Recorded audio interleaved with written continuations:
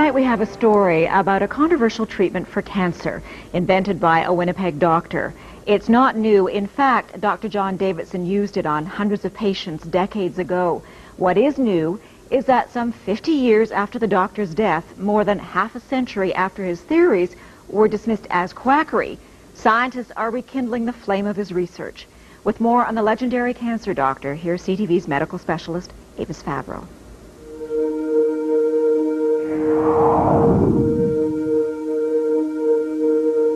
His name was John Ralston Davidson, a respected family doctor in Winnipeg in the early 1900s. A great scientist as well as a great doctor. And this is Leslie Gurney Bishop, now 88, a journalist who documented Dr. Davidson's controversial treatment for cancer. He never claimed that it cured it, but he said it would arrest it. Davidson spent years studying cancer, writing medical articles on his theories, which in hindsight were remarkable for his time. The doctor described cancer as a dietary deficiency, so he added generous amounts of vitamins to the patient's diet. But he also said it was critical to boost the patient's own defenses against cancer, which is why he developed what he called young tissue extract. Davidson took fertilized hen's eggs just nine days old and produced a powdered extract, which was then injected into patients with various forms of terminal cancer. Like this boy, diagnosed with lymphatic cancer, notes show that with surgery, vitamins, and the extract, he returned to normal health. Over the years, Dr. Davidson treated hundreds of cancer patients. They all said, the ones I interviewed, all said that it had benefited them tremendously. Some said they were cured. Ruth Burke's father was one of Davidson's more famous patients. Harry Leader, the Member of Parliament for Portage La Prairie, had been diagnosed with terminal bowel cancer by the Mayo Clinic in the U.S. But under Davidson's treatment, he improved. Uh, it was controversial uh, scientifically, but that really didn't affect Dad. He, he believed in it.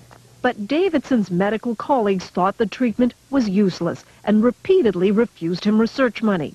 It's as though they'd been instructed by somebody, well, just uh, tear him up, you know, just tear him up.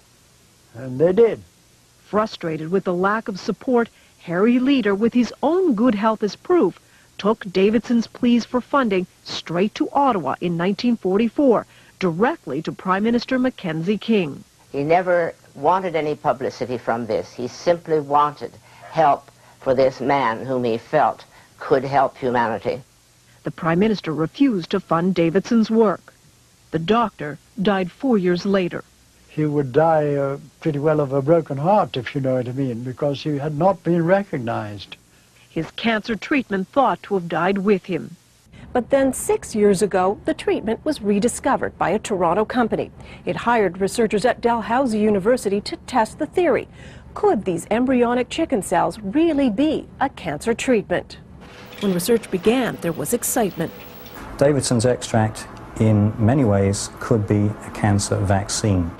In three studies on mice, the compound apparently shrunk tumors. We have to be careful about raising people's hopes falsely. Jonathan Blay is one of the researchers looking at the revived young tissue extract. Davidson's extract, in many ways, could be a cancer vaccine. There could be things in the extract that promote a response against the cancer.